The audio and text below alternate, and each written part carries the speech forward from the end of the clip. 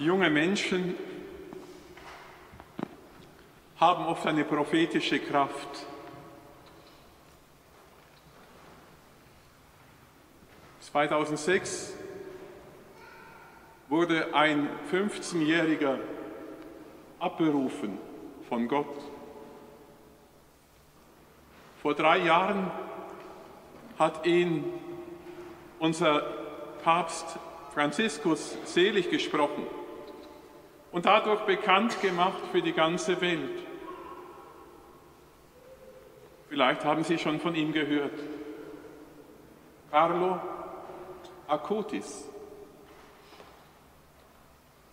Er hat Sätze gesagt, die vielleicht mancher Bischof und Priester nicht wiederholt hätte. Wenn er gesagt hat, die Eucharistie ist die Autobahn zum Himmel. Und er hat online, weil er ein Informatik-Genie war,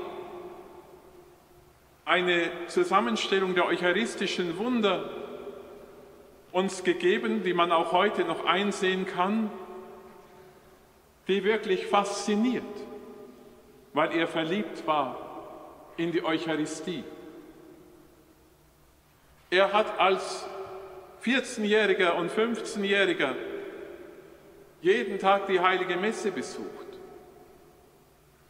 und hat gelebt, dass er ohne die Eucharistie eben nicht leben kann. Und als er ganz plötzlich an einer aggressiven Form der Leukämie erkrankte und innerhalb von ungefähr zehn Tagen starb, nahm er sein Sterben an, ohne Wenn und Aber und hat dann ein Wort verwendet, was wir heute schon als total veraltert anschauen und nicht begreifen könnten, nämlich er hat es aufgeopfert für den Papst, für die Kirche. Und um seine Eltern, die lange nicht so religiös waren, sondern eigentlich viel mehr entfernt waren und die er fast in die Kirche hineinzog im Urlaub, oder an die Wallfahrtsorte oder an die Orte, wo eucharistische Wunder geschehen sind. Seine Eltern hat er getröstet mit den Worten, ich werde nicht sterben, sondern leben. Liebe Schwestern und Brüder, auf einmal wird dieses Evangelium, das wir heute gehört haben, ganz lebendig. Wer von diesem Brot isst, wird leben in Ewigkeit. Das Brot, das ich gebe, ist mein Fleisch. Ich gebe es hin für das Leben der Welt. Da stritten die Juden untereinander und sagten, wie kann uns dieser sein Fleisch zu essen geben? Dieser Streit hat auch unter uns Christen noch nicht aufgehört. Zu einem Priester kam einmal einer der sich über den Glauben lustig machen wollte, über den eucharistischen Glauben und fragte, wie kann es möglich sein, dass aus Brot und Wein Fleisch und Blut Christi werden? Und der Priester versuchte zu antworten, wenn schon dein Körper die Nahrung, die du zu dir nimmst, in Fleisch und Blut umsetzen kann und verwandeln kann, warum soll Gott nicht das andere vermögen.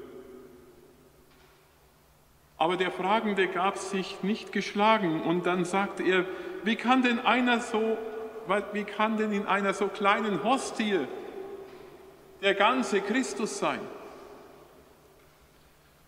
Und darauf die Antwort, eine Landschaft, die vor dir liegt, groß und weit,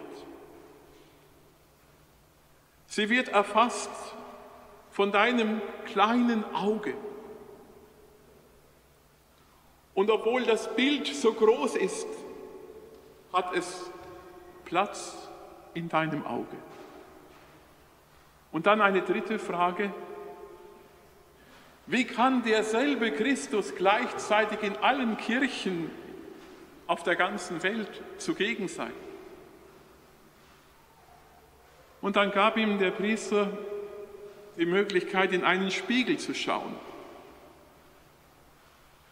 Und dann warf er den Spiegel zu Boden und sagte, auch in jeder Scherbe, in jedem kleinen Stückchen von diesem Spiegel siehst du dein ganzes Bild. Immer wieder fällt es schwer, liebe Schwestern und Brüder, an ein so großes Geheimnis zu glauben, wo man nur niederknien kann und anbeten kann. Verstandesmenschen können vielleicht ein solches Geheimnis nicht erfassen, wenn sie ihren Verstand nicht vom Glauben durchdringen und erleuchten lassen. Und so wundern wir uns nicht, wenn auch heute Menschen vielleicht murren. Aber Jesus sagt nicht bei seinen damaligen Zuhörern im Evangelium, wie es vielleicht manche Politiker heute machen würden, ach, ihr habt mich nur falsch verstanden, ihr müsst das anders verstehen, nur symbolisch. Nein, er sagt es nicht,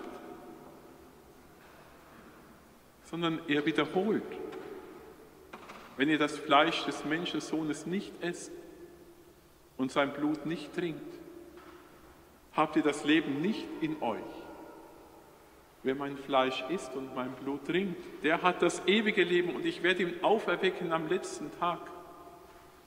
Denn mein Fleisch ist wahrhaft eine Speise und mein Blut ist wahrhaft ein Trank. Wer mein Fleisch isst und mein Blut trinkt, der bleibt in mir und ich bleibe in ihm. Eines der faszinierendsten eucharistischen Wunder, die auch Carlo Acutis in seiner Ausstellung uns zeigt, ist das von Lanciano. In den Abruzzen, vielleicht waren Sie schon einmal dort, ein kleines Städtchen in der Nähe der Adria. Vor wenigen Jahren war ich mit Pater Karl dort und man kann dort in einer Entfernung zu diesem Wunder hingehen, wie ich jetzt entfernt bin vom Pult. Man kann es genau anschauen. Es ist ein Wunder aus dem 8. Jahrhundert, als ein Basilianer Mönch auf einmal bei der Wandlung Zweifel hatte, hat sich auf einmal der Wein verwandelt in Blut und die Hostie in Fleisch. Beides ist noch zu sehen, ohne Konservierungsstoffe. Auch das ist schon ein Wunder. Paul VI. hat zusammen mit dem Bischof von Lanciano 1970 dieses Wunder medizinisch untersuchen lassen. Und ein Jahr später präsentierte Professor Dr. Eduardo Linoli eine detailreiche Studie mit dem Ergebnis, und Sie können das genau nachlesen und auch sich genau anschauen, mikroskopisch genau. Das Fleisch, das dort zu sehen ist, ist Herzmuskelgewebe. Das Blut ist wahrhaftiges Blut von einem Menschen mit der Blutgruppe AB. Typisch für Menschen im Mittleren Osten. Das Blut ist, weil man noch das Eiweiß wahrnehmen kann, zeugt von frischem Blut. Und die histologische Untersuchung zeigt, dass die Reliquie keine Konservierungsstoffe in sich hat. Dieses Ergebnis weckte dann großes wissenschaftliches Interesse und wurde 1973 noch einmal untersucht. Und nach 15 Monaten und 500 Experimenten bestätigte man die früheren Untersuchungen dass also keine Mumifizierung am Gewebe vorgenommen worden war. Es handelt sich um lebendes oder lebendiges Gewebe, welches klinisch reagiert. Das bedeutet, Fleisch und Blut sind so, als hätte man sie heute von einem lebenden Menschen genommen. Liebe Schwestern und Brüder, das kann man nicht erklären. Aber es zeigt unseren tiefen Glauben, dass auch die Welt staunt. Denn 1976 wurde dieses Ergebnis in New York und in Genf veröffentlicht. Wissenschaftler mussten bestätigen, medizinisch nicht erklärbar. Gott ist gegenwärtig. Auch wenn sich bei uns nicht ein spektakuläres Wunder ereignet, wenn wir den Herrn empfangen, so ist er dennoch ganz gegenwärtig, mit Fleisch und Blut, mit Gottheit und Menschheit, wie wir bezeugen.